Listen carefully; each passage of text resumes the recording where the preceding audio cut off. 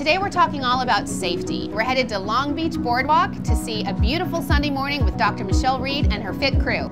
I enjoy exercising, but the key thing is you need to find something that you enjoy doing. So we're gonna go do something in a minute that will keep you in, in shape and fit and keep you socially distant. It's IFly Trapeze at Eisenhower Park. This is gonna be so cool and unique.